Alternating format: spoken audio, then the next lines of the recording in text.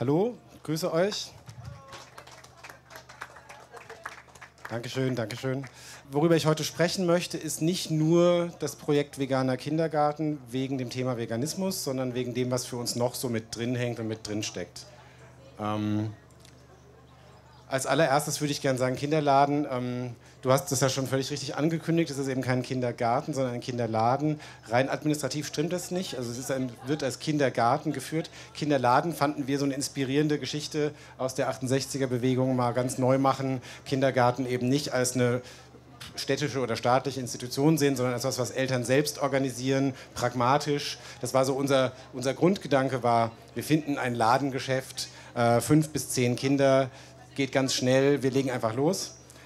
So wie da hinten sieht es dann aus, so haben wir uns das vorgestellt. Ähm, die Realität sieht aber heute anders aus. Also es ist nicht mehr 1968, sondern ähm, die Bürokratie ist da ganz, ganz anders. Ähm, insofern, das heißt noch so, weil wir diese, diese Brücke gut fanden, weil wir diese, diese Referenz gut finden. Es sieht aber ein bisschen anders aus als damals ich würde gerne so ein bisschen darüber sprechen, wie es dazu kam, ähm, was unser Alltag eigentlich so ist und ähm, wie das eigentlich kommt, dass wir den Veganismus ins Zentrum gestellt haben, wie man sich das vorstellen muss oder was das auch bedeutet später für äh, die Perspektiven in so einem Kindergarten. Ganz kurz zu mir, du hast schon gesagt, ich habe drei Kinder. Ein älteres Kind lässt sich ungern fotografieren, deswegen sieht man hier nur zwei. Ähm, und deswegen, ne, ich bin voll berufstätig, habe drei Kinder und habe jetzt auch noch mit, mit einer Gruppe von Menschen einen Kindergarten gegründet. Das macht man ja nicht nur so, weil man nichts Besseres zu tun hat. Deswegen, ich hoffe, ich kann euch ein bisschen näher bringen, worum es da geht. Wie kam es dazu? Wir haben so eine ganz blöde Formel uns mal aufgeschrieben. Ähm, Bedarf plus Anspruch erzeugt Leidensdruck. Wir hatten einfach ganz praktischen eigenen Bedarf. Also ähm, meine Frau und ich haben 2011 mit der Geburt unseres zweiten Kindes angefangen, äh, vegan zu leben und ähm, hatten dann so, ja, wir haben Johannes, äh, den, den, den Ideengeber und Mitgründer dieses Kindergartens, mal getroffen in einem veganen Café in Frankfurt mit einem gleichaltrigen Kind, die waren da beide so, als wir uns getroffen haben, vielleicht eins oder so, und haben darüber gesprochen, was machen wir denn mit diesen Kindern, wenn die mal älter werden, wenn die mal in den Kindergarten kommen? Ähm, wie ernähren wir die denn da überhaupt? Und dann wurde sehr schnell klar, 2011, da war da gar nichts möglich. Vegan geht gar nicht, ähm, vegetarisch, ja, mit ärztlichem Attest, wenn es sein muss. Ähm, so war der, waren die Rückmeldungen, die wir bekommen haben, was natürlich total frustrierend für uns war. Das ist der erste Teil der Formel Bedarf. Ähm, dann hatten wir auch noch, mal abgesehen von dem Bedarf an veganem äh, Essen, was wir gerne wollten, einen gewissen Anspruch an die Einrichtung, wo wir unsere Kinder betreuen lassen wollten. Nämlich, dass das eine moderne, fortschrittliche Pädagogik gibt, die wir gut finden. Ähm, dass die Räumlichkeiten passen, dass das Team gut ist, dass es nah und erreichbar ist. Also, ne, also Dinge, die alle Eltern eigentlich erwarten, wenn sie sich äh, Gedanken über den Kindergarten machen. Aber diese Kombination, die war natürlich für uns maximal kompliziert, weil äh, klar war, das werden wir so nicht finden.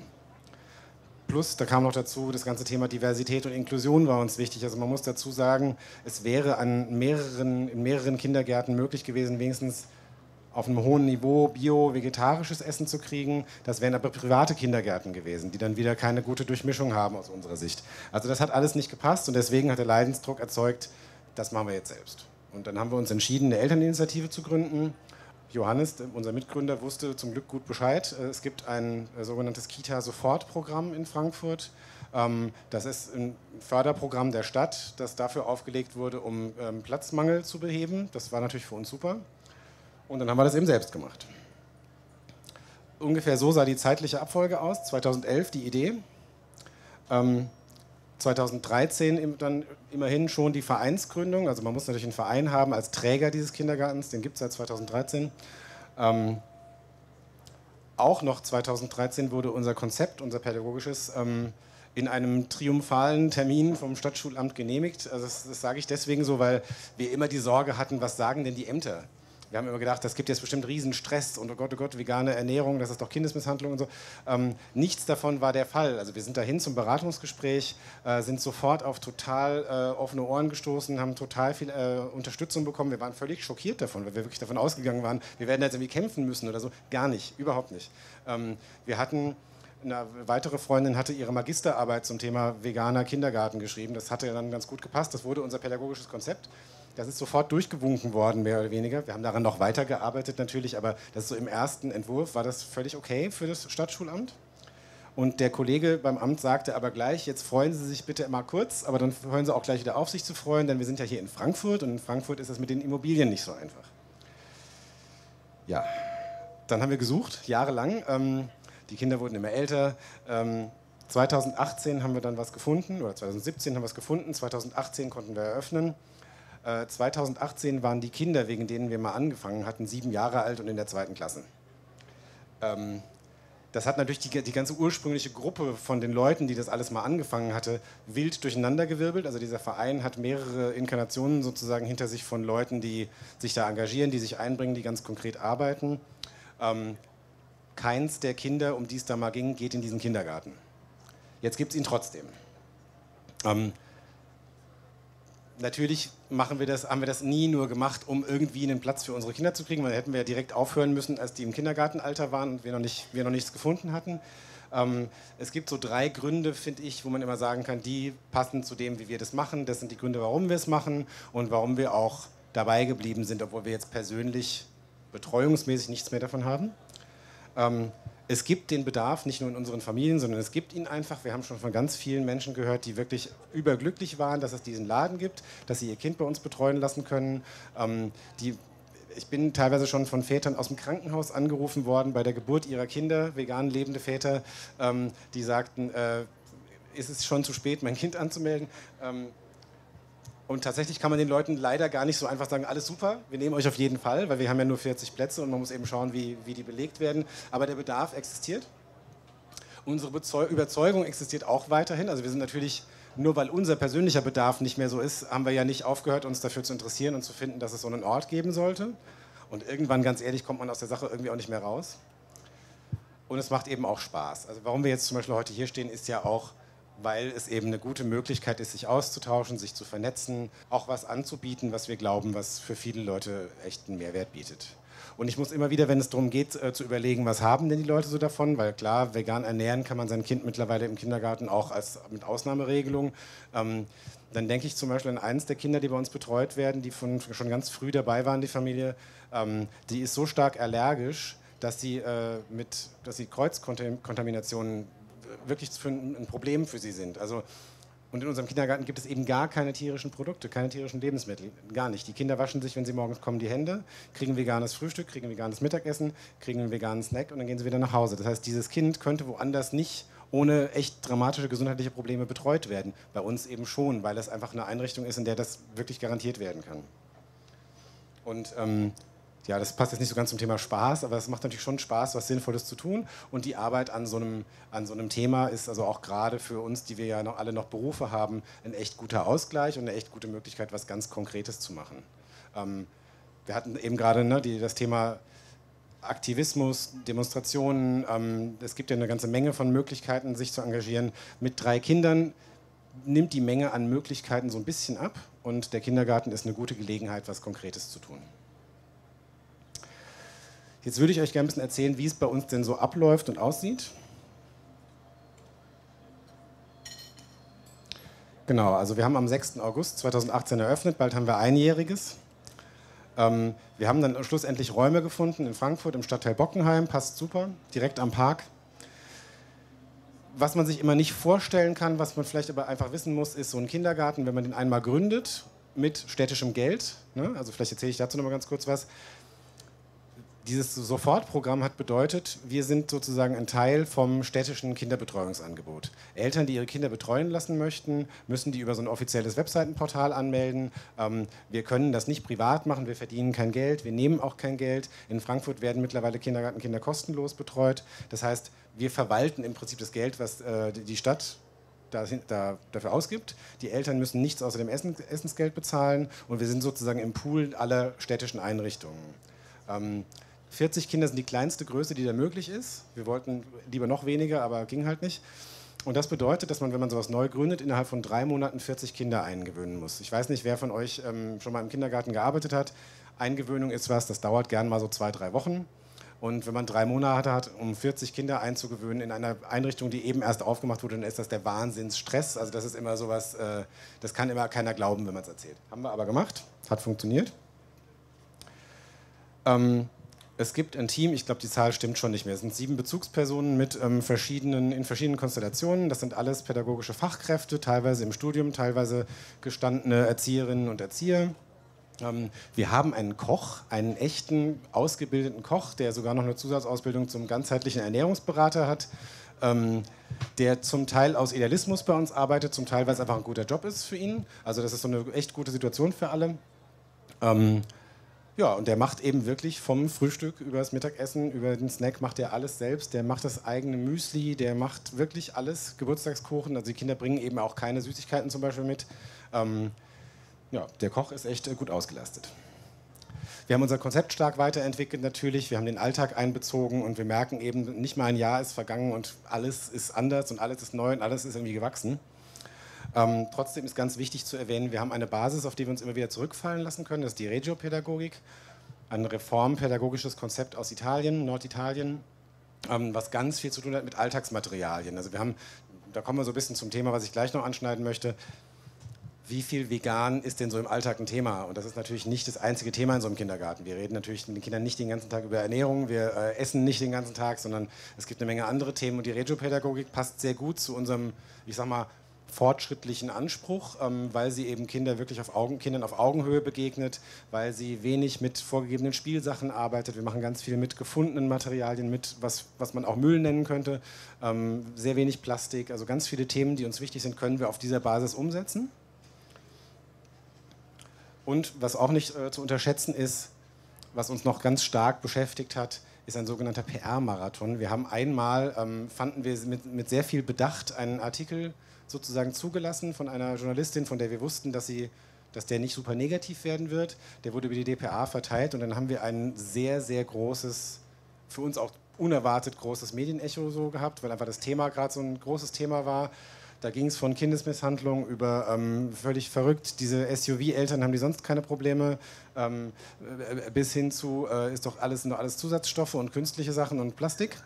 Also total interessant, wie das in der Presse so aufgenommen wurde und Facebook war dann auch mal eine Zeit lang ein bisschen anderes Erlebnis. Ähm, damit haben wir komplett aufgehört und ähm, machen eigentlich nur noch ja, so Interviews und, und Beiträge in Fachzeitschriften oder in der, so, so, so innerhalb der veganen Szene, weil wir das, was wir wollten, nämlich äh, Kinder finden und Erzieherinnen und Erzieher finden, das haben wir erreicht. Ähm, aber das kann man sich vielleicht vorstellen, war eine wahnsinnig anstrengende, wahnsinnig ähm, intensive Zeit, so das letzte Jahr. So, so sieht's aus bei Mokita. Das sind jetzt Fotos von bevor die Kinder kamen. Äh, das sieht mittlerweile ein bisschen anders aus. Also die Kinder ähm, haben durchaus mit den Sachen gespielt und äh, man lernt sehr schnell robustes von nicht so robustem Spielzeug zu unterscheiden. Das ist das Haus. Wir hatten das große Glück, dass wir in, in einem Neubau untergekommen sind, sonst würden wir heute noch suchen wahrscheinlich. Ähm, denn wir wurden dort sozusagen hinempfohlen, weil unser Konzept stadtteilübergreifend äh, relevant ist. Also eine stinknormale Kita hätte dort nicht eröffnen dürfen, deswegen mussten die quasi uns nehmen. Es gibt einen Bewegungsraum, es gibt diesen Spielraum, den ihr eben schon gesehen habt. Wir haben äh, mit einer befreundeten Künstlerin auch Wandgestaltung gemacht, weil wir wirklich versucht haben, ganz viele Themen umzusetzen, die wir wichtig finden. Ähm, es gibt einen Ruheraum, das ist ein total bizarrer Raum, das sieht man hier jetzt nicht, aber im Prinzip ist das so ein Schlauch, wo man in der Mitte in, in die Tür reingeht. Und wenn man nach links schaut, ist so der Schlafbereich für den Mittagsschlaf. Wenn man nach rechts schaut, ähm, findet man so eine Art Lesepodest, ähm, auf dem vorgelesen werden kann. Äh, ein Raum, den man sich als Erwachsener anschaut und sich fragt, was soll denn hier passieren? Die Kinder sind da super gerne drin. Also auch das haben wir gelernt, uns sozusagen mit räumlichen Herausforderungen zu beschäftigen. Es gibt im Außengelände auch so ein Sorgenkind, das war am Anfang nicht eröffnet. Das heißt, diese Kinder mussten im Sommer, August haben wir eröffnet. Ich glaube, im Oktober durften wir dann irgendwann ins Außengelände. Ja, ne? ähm, also wir haben auf jeden Fall eine lange Zeit ohne draußen verbracht. Als das Wetter dann schlecht wurde, durften wir raus. Ähm, mittlerweile ist das aber wunderbar genutzt und wir haben am Freitag unser erstes Fest gefeiert, da hat es auch schon äh, gut funktioniert. Ja, es gibt natürlich was zu essen. Ähm, das sind ein bisschen ältere Fotos. Mittlerweile hat sich da auch mehr Routine eingeschlichen und ähm, äh, ja, man könnte jetzt da noch stundenlang weitere Sachen äh, zeigen. Der Koch schreibt immer brav Freitags Essensplan für die nächste Woche. Das ist immer, immer eine große Freude, den zu lesen. Ähm, unsere erste Spende war dieses Klavier, das fanden wir auch super. Und wir haben auch darauf geachtet, dass da, wo die Eltern sich aufhalten, also wenn Kinder eingewöhnt werden, dann sind Eltern auch in der Einrichtung und dann äh, sollen die nicht irgendwo in der Abstellkammer sitzen, sondern eben auch einen schönen Ort vorfinden. Da haben wir ein bisschen, äh, bisschen genauer noch geschaut, wie sieht es da aus. So, und das sind jetzt aktuellere Fotos, so, so sah es am Freitag aus, äh, bei der Vorbereitung für dieses Fest. Und man darf das immer nicht unterschätzen, wenn wir Bewerbungsgespräche führen, was man ja immer mal wieder muss, dann... Ähm, können sich die Kolleginnen und Kollegen, die potenziellen, immer nicht vorstellen. Du bist dann auf dem Sommerfest von deinem Arbeitgeber und alles, was es da gibt, ist vegan und du kannst einfach alles essen. Ähm, das ist natürlich für uns nicht, so, nicht mehr so frappierend, weil es unser Alltag ist, aber es ist natürlich, wenn du, wenn du gewöhnt bist, irgendwo zu arbeiten, wo das nicht normal ist, dann ist das äh, erstmal krass. Alle gezeigten Kinder sind meine eigenen, weil ich, äh, weil wir, das ist auch so ein Pressethema, ähm, wo wir äh, einfach immer wieder achten müssen, äh, dass die Kinder nicht nicht äh, irgendwie auf Fotos zu sehen sind oder so. Hast du gerade eine Frage? Oder? Ja, äh, arbeiten davor vegane Nee. Also, nee, äh, natürlich vorwiegend, na, wobei, ist es vorwiegend? Ja, schon, ich sag mal zwei Drittel so über den Daumen gepeilt. Das ist jetzt kein Einstellungskriterium, aber natürlich, so wissen wir bei den Kindern auch, ähm, wenn jetzt jemand kommt, der passionierter Fleischesser ist, dann würden wir sagen, das funktioniert leider nicht. Und ähm, es gibt, ich glaube, ein paar sind zwei oder so sind Vegetarierinnen. Das ist schon auch okay für uns, solange die halt das Konzept unterstützen. Ähm, viel wichtiger finde ich tatsächlich, die ganzen Kinder sind nicht alle vegan. Lang nicht, bei weitem nicht, vielleicht ein Viertel, wenn überhaupt. Also, und das ist aber auch was, was ich persönlich total super finde. Also, ähm, weil das sind natürlich alles Kinder, die sonst ganz andere Ernährung gewöhnt sind und die ganz andere, ganz andere Möglichkeiten gewöhnt sind von zu Hause, die aber plötzlich Sachen kennenlernen, die, sie gar nicht, die es für sie gar nicht gab bisher. Und ähm, das wird wahnsinnig gut angenommen. Und das in, also Zufall ist es nicht, soweit würde ich nicht gehen, aber ich würde schon sagen, also da ist die Bandbreite groß. Von ähm, liegt echt total praktisch um die Ecke und ja Gott, ich kann ja abends noch Wurstplatte machen, äh, bis zu ähm, besser frisch gekocht und regional und saisonal ähm, und dann halt auch vegan ist da alles dabei. Also es ist, die Bandbreite ist extrem groß, was uns ja auch immer wichtig war. Ähm, und du merkst natürlich stark, wo kommen die Leute her, was ist deren Hintergrund, was sind deren Themen zu Hause, ähm, wie viel Gelegenheit hatten die schon, sich mit Ernährung zu beschäftigen. Ähm, ja, wir haben immer mal wieder, wenn wir so Infoveranstaltungen gemacht haben vor der Eröffnung, kamen dann irgendwann Eltern und meinten so, ihr habt jetzt echt viel über die vegane Ernährung erzählt, das ist bestimmt auch ganz toll, aber wir hätten noch so ein paar andere Fragen, wo man auch so gemerkt hat, das Thema ist einfach für viele nicht so, so prominent gewesen. Ähm, es gibt, ich würde sagen, der Großteil findet es gut, würde es aber wahrscheinlich ohne einen guten Koch nicht so gut finden. Also es passt schon gut zusammen.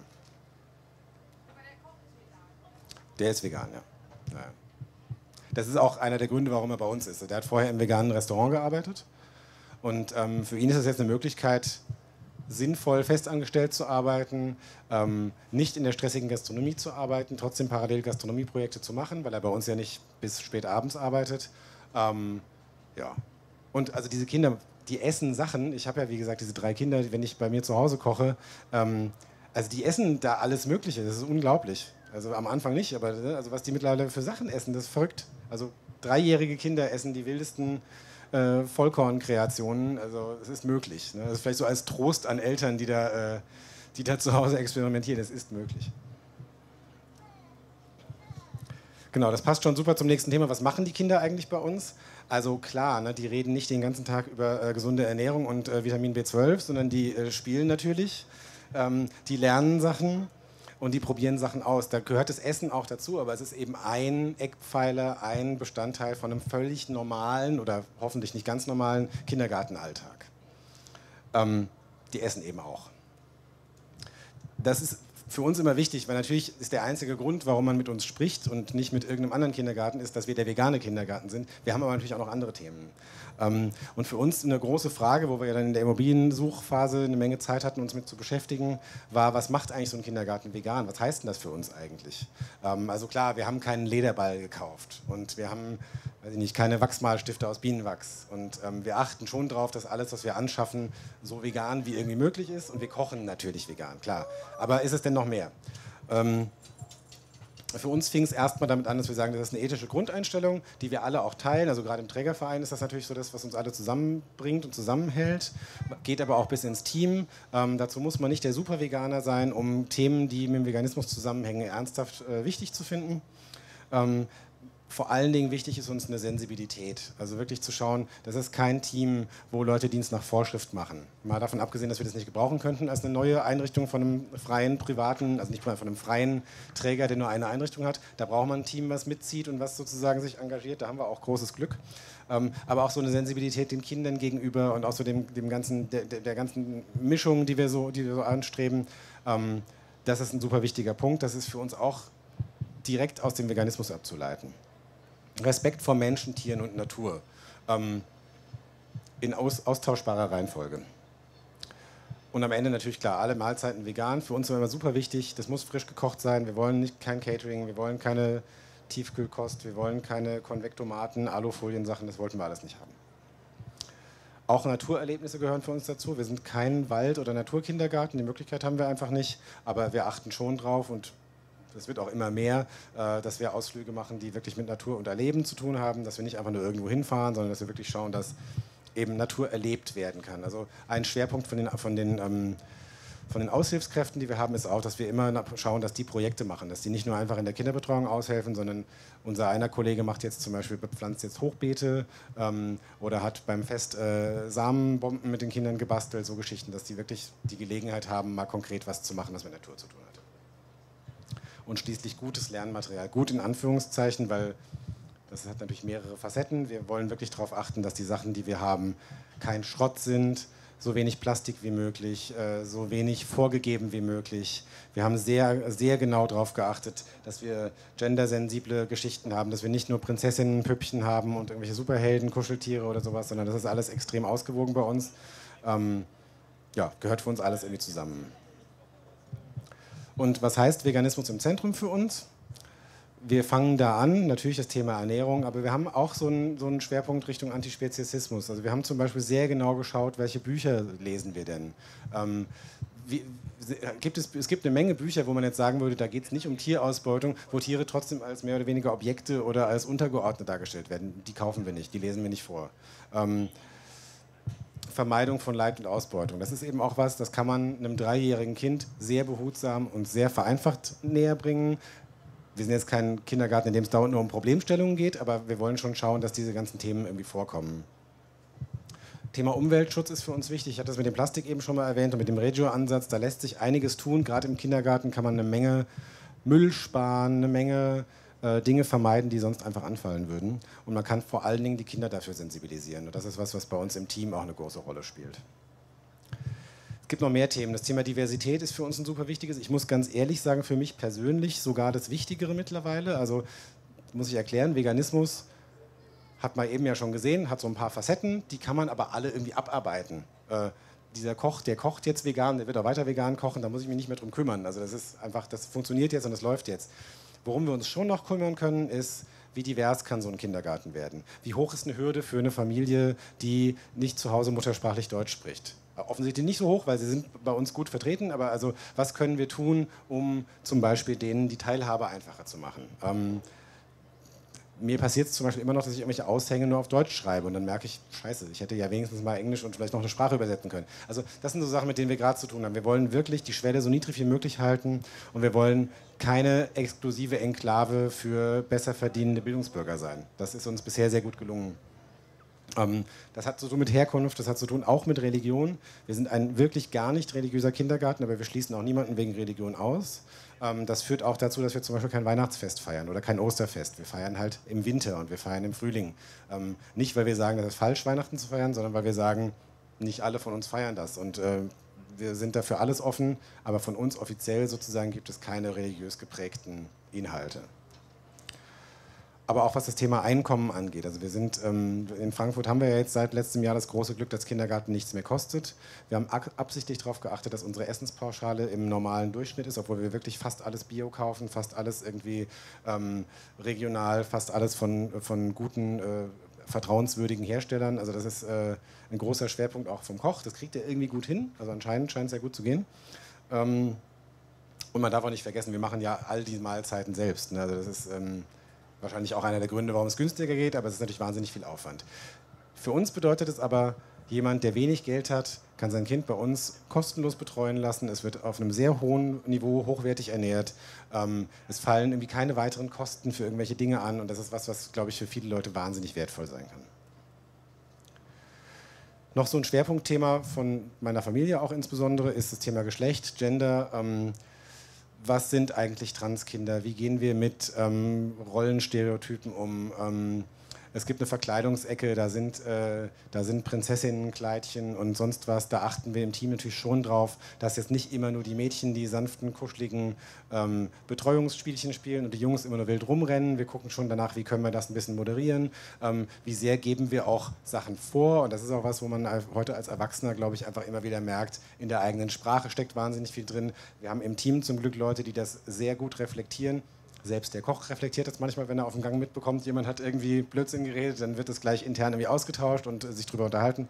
Das ist was, was wahnsinnig wichtig ist für uns, weil das eben was ist, kann ich aus eigener Erfahrung von meinen, meinen Kindern und meiner sozusagen Kinderbetreuungserfahrung äh, berichten. Das ist nicht, nicht selbstverständlich, das ist nicht normal. Ne? Also dieses Jungs sind so, Mädchen sind so, das kriegt man aus den Köpfen nicht raus und wir versuchen es aber. Mal gucken. Und schließlich ein Kindergarten, in dem man studiert haben muss, um den Elternbrief zu verstehen, ist irgendwie auch blöd. Da achten wir stark drauf, dass wir eben auch wirklich in der Richtung inklusiv sind und, und niedrigschwellig. Klasse und soziale Stellung sind wir total sensibel für, achten wir auch drauf man merkt es. Also wir hatten ja, wie gesagt, am Freitag unser erstes Fest und diese Feste fangen in anderen Einrichtungen immer so an, dass die Freundesklicken oder Bekanntenklicken, so die auf dem Spielplatz schon zusammenhängen, die setzen sich alle an einen Tisch und bleiben so beieinander. Das geht bei uns nicht so gut, weil ähm, viele von den Leuten sich einfach noch nicht so gut kennen. Da sind zwar so ein paar Klicken, das sind aber die, die sich relativ schnell öffnen. Und man merkt dann einfach, es filtern sich sehr schnell so die Leute zusammen. Also die, die offensichtlich studiert haben, sitzen irgendwie an einem Tisch. Die, die offensichtlich Migrationshintergrund haben, sitzen am nächsten Tisch. Und was wir gesehen haben am Freitag ist, das hat sich wunderbar auf, aufgelöst. Also die Leute haben sich wirklich miteinander unterhalten, sind miteinander ins Gespräch gekommen. Und das ist, glaube ich, was, was auch mit unserer Haltung zu tun hat und was wir wirklich aktiv versuchen voranzutreiben. Letztes Thema, Inklusion. Wir haben da lange mit gehadert. Wir sind ähm, aus diversen persönlichen und beruflichen äh, Vorbildungen mit dem Begriff sehr gut vertraut und ähm, hatten so ein bisschen Angst davor, weil wir wussten, wir wollen natürlich so inklusiv wie möglich sein. Wir wollen ähm, eine Einrichtung sein, die das ganz oben stehen hat. Wir haben aber auch gewusst, es ist unser erster Kindergarten, wir gründen ganz neu, wir müssen alles andere erst noch vom Boden kriegen. Und wir haben uns dann dafür entschieden, ich finde richtigerweise, das nicht groß irgendwie draufzuschreiben, zu sagen, wir sind ein total inklusiver Kindergarten. Ähm, man kann heute keinen neuen Kindergarten mehr eröffnen im Neubau, ohne dass der äh, barrierefrei für Rollstuhlfahrer ist zum Beispiel. Das geht gar nicht mehr. Also unser Kindergarten ist insofern äh, barrierefrei, inklusiv und so weiter, wie das baulich nur geht. Ähm, es gibt so eine Sache, die mir immer wieder durch den Kopf geht dabei, und zwar, ähm, wir wollen Inklusion so verstehen, dass Kinder mit und ohne Behinderung bei uns sein können. Und im Einzelfall muss man dann eben schauen, was, bedeutet, was das bedeutet. Eine Freundin von mir hat ein Buch geschrieben, ähm, wo sie beschreibt, dass sie für ihre schwerst mehrfach geistig und körperlich behinderte Tochter einen Kindergartenplatz sucht und irgendwann von, bei ihrem Wunschkindergarten vom Erzieher, äh, den sie angesprochen hat, die Rückmeldung bekommen hat, du keine Ahnung, wir haben das noch nie gemacht, aber wir wollen es unbedingt hinkriegen und wir werden dich unterstützen und wir tun alles, was wir können. Und das, jedes Mal, wenn ich, das, wenn ich das, diesen Satz mir wieder so vor Augen führe, denke ich mir, genauso wollen wir auch sein. Man muss nicht alles fertig haben, man muss nicht alles ausgedacht und erledigt haben, um sozusagen die richtige Geisteshaltung dazu zu haben. Ähm, ein Ziel, was wir verfolgen, ist gemeinsam verschieden sein. Also wir wollen nicht so tun, als wären wir alle gleich. Wir wollen den Kindern nicht beibringen, alle sind gleich und können alle das Gleiche. Wir wollen ihnen beibringen, alle sind gleich viel wert. Und äh, es ist völlig in Ordnung, gemeinsam verschieden zu sein. Und so wollen wir einen inklusiven Ort schaffen. Mein Fazit, ein veganer Kindergarten wegen den letzten Themen für alle, das war uns immer super wichtig. Was kommt als nächstes? Also klar, die Leute fragen halt, ne? was macht ihr jetzt ein Franchise draus? Macht ihr jetzt noch weitere Kindergärten auf? Jetzt habt ihr den ganzen Stress gehabt, jetzt habt ihr es gelernt, wie geht es weiter? Macht doch noch eine Schule. Hier, die Kinder sind noch so alt, macht doch ein Hort. Wir sagen unter uns eigentlich immer nur, wir machen ein Altersheim, ähm, ein veganes. Also meldet euch gerne, wenn ihr noch einen veganen Altersheimplatz sucht. Nee, tatsächlich... Äh, wir haben mit dem, mit dem Kindergarten genug zu tun. Ähm, wir werden nichts weiteres machen erstmal in der Richtung. Wir werden den weiter ausbauen. Das heißt, die Richtung ist eher Entwicklung. Wir können bei der Pädagogik wahnsinnig viel noch machen. Wir können zum Thema Inklusion wahnsinnig viel machen. und wir können im Alltag die ganzen Prozesse optimieren. Wir können schauen, welche Abläufe laufen schon gut, welche noch nicht so richtig. Also da ist noch wahnsinnig viel zu tun und genug Potenzial drin. Naja, und schließlich, warum stehe ich hier? Weil wir natürlich den Austausch wichtig finden. Also Vernetzung finden wir toll, wir finden es gut, Öffentlichkeit, sozusagen die richtige Art von Öffentlichkeit zu schaffen für das Thema. Und wir wollen auch gerne Anlaufstelle sein. Das ist jetzt in der Vergangenheit schon ein paar Mal passiert. Diverse Gründerinnen und Gründer haben sich mit uns in Verbindung gesetzt und haben gesagt, wir würden auch gern sowas machen. Geklappt hat es bisher bei den Kolleginnen in München. Ähm, das finden wir ganz toll. Da ist auch schon mal ein Betriebsausflug geplant. Also wir wollen uns auf jeden Fall mal miteinander vernetzen. Ähm, aber wir sind immer wieder gerne sozusagen äh, Ansprechpartner, wenn es Fragen gibt zu dem Thema, wie macht man das eigentlich. Oft merkt man schon, in Frankfurt gibt es bestimmte Regeln, die es woanders nicht gibt. Also wenn es so allgemein ist, können wir nicht so viel helfen, aber wir können, glaube ich, eine Menge Erfahrung weitergeben. Also falls ihr euch mit dem Gedanken tragt, einen Kindergarten zu eröffnen, schreibt uns gerne eine Mail. Wir schreiben irgendwann zurück. Vielen Dank. Das habe ich ganz vergessen. Gibt es noch irgendwelche Fragen? Nun ist es ja so, habt ihr, wie macht ihr das denn mit dem Bild 12? Oder überlasst ihr das den Eltern? Gute Frage. Also wir dürfen nichts äh, verabreichen, wir dürfen keine Nahrungsergänzungsmittel geben. Also bei B12 kannst du ja nicht überdosieren in dem Sinne. Das ist halt schade drum, aber also ähm, Vitamin D zum Beispiel kann man überdosieren. Es gibt eine Menge andere Dinge, da kann man was falsch machen. Ähm, und wir können ja nicht all die Wechselwirkungen kennen bei all den Kindern und immer wieder neu. Das heißt, wir ähm, sehr gute Frage, könnte ich auch mal einbauen in, in, das, in das, ganze Thema, weil es natürlich eine, eine, auch eine Frage, die ganz viele Leute, die sich nicht so auskennen mit der veganen Ernährung, interessiert. Ähm, das ist ein wichtiger Bestandteil vom Elterninformationsgespräch. Also es gibt quasi, mhm. bevor Kinder aufgenommen werden, trifft man sich mit der Familie, lernt das Kind kennen, lernt die Eltern kennen. Unsere pädagogische Leitung führt diese Gespräche normalerweise und die weist dann eben auch darauf hin, so und so ist es bei uns, wir ernähren die Kinder hier vegan. Ähm, wenn ihr das zu Hause auch macht, achtet bitte darauf, dass ihr die richtigen Nahrungsergänzungsmittel äh, verabreicht, wenn ihr in Abstimmung mit eurem Kinderarzt oder so. Weil es sind ja, die meisten Familien essen ja nicht vegan. Manche vegetarisch, für die gäbe es auch noch was. Manche omnivor, da weiß man es nicht, keine Ahnung, was, ob die noch was geben müssten oder nicht. Deswegen können wir das sozusagen nicht als Einrichtung machen. Bin ich auch ganz froh drum, ehrlich gesagt, dass wir das nicht noch machen müssen. Ja. Hallo. Wie ähm, kommt denn die Ernährung? Ah, also ich mache gerade die Ausbildung zum Erzieher mhm. und ich bin dann die vegane Erzieherin in der Gruppe und die Kinder verstehen auch, dass ich mich so ernähre und es, es ist aber oft so, dass sie also kein Kind ernährt sich bei uns vegetarisch oder vegan, sondern die essen alle Fleisch, aber im Kindergarten gibt es nur vegetarisch und sie vermissen dann immer ganz stark das Fleisch. Und dann heißt es halt immer so, oh, jetzt hätten sie gerne ein Steak oder ein Würstchen oder i, schon wieder gibt es Haferbrei. Bäh. Und ähm, ist das auch ein Thema bei euch, wenn es nur ein Viertel der Kinder maximal sind, die auch wirklich vegan zu Hause leben? Naja, also das ist also der Unterschied zu zu Hause ist ein Thema, würde ich sagen. Es ist ähm, dadurch, dass der Koch halt nicht einfach nur Fleisch weglässt, sondern ganz andere Sachen macht. Ähm, ist sozusagen die, die Schwelle, wenn, du, wenn das Kind ganz neu ist, ist die Schwelle erstmal relativ hoch. Also weil es gibt zum Beispiel immer einen Smoothie und so ein Kram, ja? also ganz viele Sachen, die die noch nie gesehen haben, so rostbraune Pampe, die kommt aber weg. Ja? Also das, ich finde das selber total faszinierend. Ähm, also es ist eher wenig, ich würde sagen, es ist weniger so, dass sie konkrete Dinge fordern. Ähm, du merkst halt, sehr populär sind Gerichte, die nah an Bekanntem sind. Also wenn es mal Pizza gibt zum Beispiel, ist die super schnell weg. Ähm, jetzt schneller als ein Quinoa, sonst was Gericht. Ne? Aber auch das wird gegessen. Also es ist nicht so, dass die total äh, schnäubisch werden. Ja. Ähm, mich würde mal noch interessieren, äh, wisst ihr, wie viele vegane Kindergärten es überhaupt schon gibt in Deutschland und habt ihr mit denen auch Kontakt? Also das ist so ein bisschen eine Definitionsfrage. Ist ein veganer Kindergarten einer, in dem es veganes Essen gibt oder in dem es nur veganes Essen gibt? Weil ich weiß, in Berlin gab es bis vor kurzem zwei, in denen, man, in denen nur vegan gekocht wurde. Die mussten aber beide auch damit aufhören, weil der Senat in Berlin das ja anders als in Frankfurt zum Beispiel komplett abgelehnt hat.